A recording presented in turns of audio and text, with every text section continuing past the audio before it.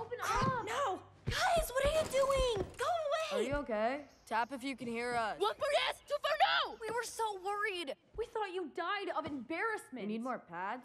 I brought extra. Forget that. Four Town's coming to Toronto. What? Ah! Hey, shh! shh.